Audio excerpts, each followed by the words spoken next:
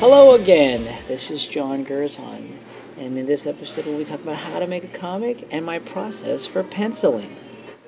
Last time we talked about being a layout artist, storyboarding, and the different shots that you use in creating and telling the story. After taking on the process of laying out the panels and choosing the best to dramatize the events, it's time to draw in pencil. I like to use a technical pencil with an H-lead. It's a little less messy and it's a lot easier to erase. Some people like to use mechanical pencils or other types. Some even use erasable blue pencils. In these early stages of drawing, I focus on solid shapes and drawing through. What this means to me is I have to make sure that when I draw the characters or objects that everything connects and follows good rules of perspective and anatomy. Try keeping things loose. What that means to me is that I don't worry about the realism at this part I try letting it flow and keeping my drawings interesting.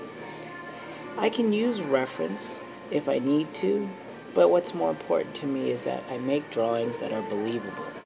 I oh, also am a big believer in a strong action line, that one line that cuts through the character to show the gist or the general movement.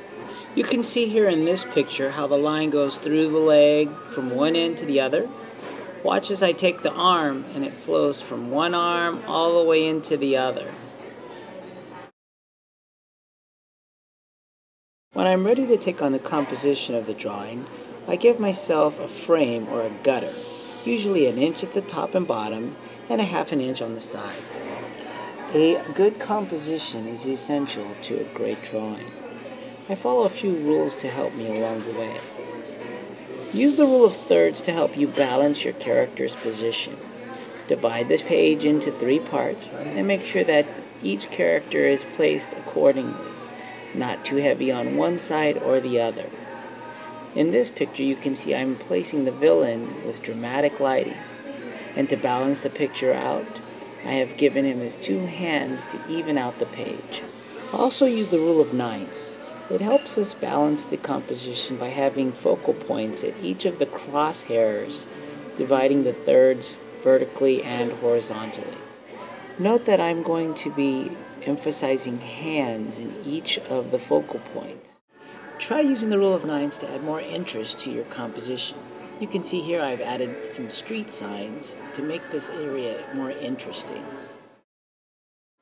At this point I can go now and we'll start working on tight pencils using a model sheet.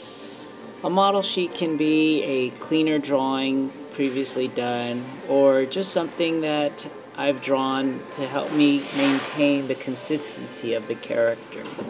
Oh, don't let me forget, gotta keep a sharp pencil. It's a must when you're doing tight pencils. A final note to good drawing don't be embarrassed to um, put a lot of grids on your paper to get accurate perspective. Having a knowledge of one point, two point, three point perspective. Um, you can never get enough grids in your paper to make sure all of those rules are followed. No one said that penciling is going to be easy, but with a few simple rules and lots of practice, you too can pencil comic book pages. Just draw, draw, and draw some more. Hey, that's not too bad. It's been fun. Well, this episode's over, but I look forward to seeing you next time when we practice inking. My name's Jon Guerzon. We'll see you soon.